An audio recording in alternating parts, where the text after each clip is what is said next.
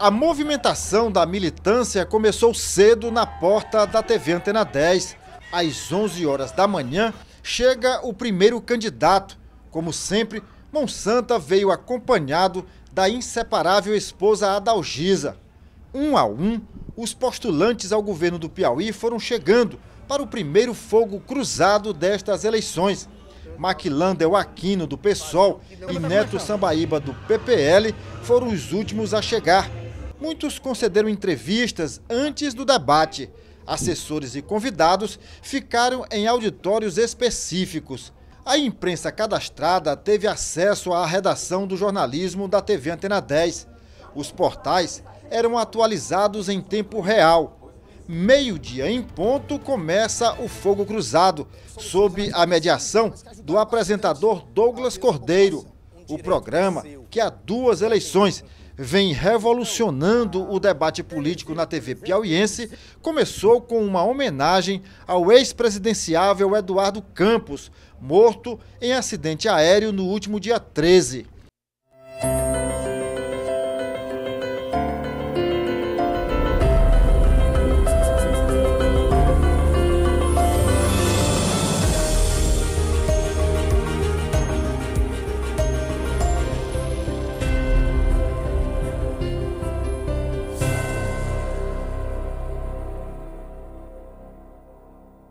Em seguida, veio a exibição do perfil de cada um dos sete candidatos ao governo do Piauí. Por volta de meio-dia e 15, teve início a sabatina dos candidatos. O primeiro a ir ao centro do fogo cruzado foi o professor Daniel Solon, do PSTU. Daí, um a um, foi se revezando no centro do debate. Em vários momentos, a temperatura do debate se elevou. Noutros ficou tenso, mas todos os candidatos seguiram à risca as regras do fogo cruzado. No intervalo, os candidatos aproveitam para conversar com as assessorias, com o pessoal do marketing. Nesse momento aqui, o candidato Mão Santa conversa com amigos e assessores. Qual a sua impressão nesse primeiro momento do debate do fogo cruzado?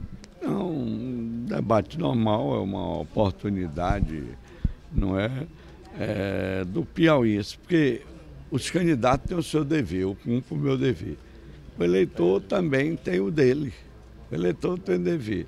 No meu entender, ele analisar os sete candidatos, não é?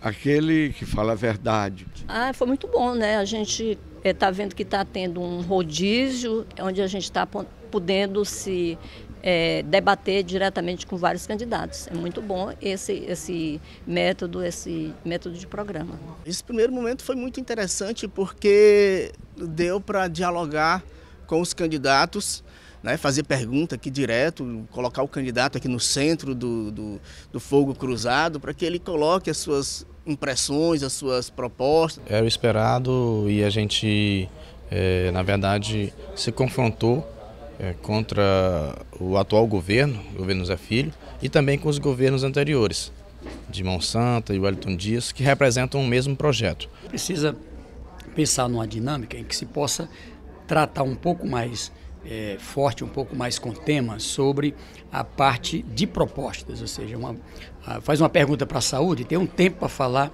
um pouco mais completo sobre saúde, sobre mobilidade urbana, sobre segurança. É, o modelo do debate mostra ao povo a capacidade de cada um que deseja governar o Estado e proporciona ao eleitor a, uma melhor escolha. É muito interessante e é a primeira vez que eu participo. Primeira impressão, governador? Não, muito bom. Eu acho que está dando para é, as pessoas terem um pouco do. verem um pouco de o que é que cada candidato é, pode falar, pode é, oferecer para os eleitores e também o nível de cada candidato. No segundo bloco, o debate foi mais acalorado, mas nada que tirasse o brilho da festa democrática e da cidadania. No final, todos avaliaram positivamente o fogo cruzado. A avaliação é positiva. É, nesse sentido, nós temos a oportunidade de dialogar com quase todo o Piauí, mostrar a nossa proposta, falar olho no olho com o piauiense e dizer que nós estamos aqui propondo uma mudança nesse Piauí. Muito boa, muito boa avaliação, porque é um debate que faz o confronto das ideias. A TV Antena 10 está dando uma demonstração de tratamento por igual entre todos os candidatos. É, eu gostei do, do formato, permitiu que a gente pudesse tratar de vários temas. Eu vim aqui para apresentar propostas. Eu acho que quem é eleitor e eleitora tem que tomar uma decisão no dia 5 de outubro. É, o debate ele é sempre importante, né? mas sempre fica a, alguma coisa que não foi possível se fazer. Né? Olha, eu acho que é uma grande oportunidade para o eleitor. Não é? Os candidatos têm seus deveres, né? se expor, apresentar. O eleitor também tem. O eleitor, para ser cidadão, ele tem um dever, pegar os sete candidatos, vasculhar todos os dias de suas vidas. A gente conseguiu colocar em pauta temas importantes, como a questão da reforma da Previdência, da necessidade de lutar pela revogação dessa reforma que fez com que os aposentados pagassem pelo IAPEP e também uh, em nível nacional pela aposentadoria, e também a questão do fator previdenciário. Eu acho que sim, eu tenho certeza que sim. A TV Antena 10 deu uma, oportunidade, uma excelente oportunidade ao povo do Piauí a ver o que cada candidato pensa de, de alguns temas que foram discutidos aqui. E a oportunidade de olharem no olho é, dos candidatos e verem quem é que está falando a verdade.